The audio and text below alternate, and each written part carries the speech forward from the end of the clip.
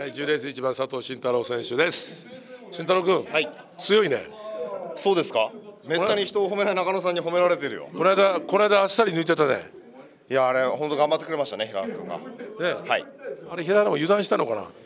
それもあるかもしれないですねただまあ自分も調子いいですよね、はいあの軽く抜いたもんね。いや軽くはではないですけどまあ平原君抜けたってことは自信にはなってますはいまあ平原ね、長い距離踏むと意外と末甘くなるんだけど。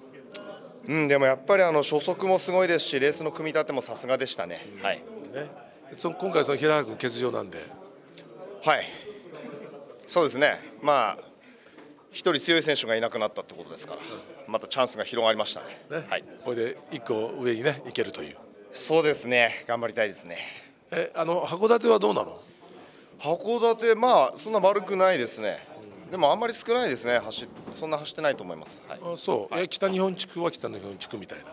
そうですね。今回あのまあ継承もねいないですしちょっとあの北日本でなんとか盛り上げていけたらなと思います。じゃあ、俺が地元みたいな顔して走るとか。まあそういう感じでいきましょうか。ね、はい。それが、それが一番似合ってると思うよ。あそうですか、ちょっとあのつつましくいこうかなと思ってるんですけど。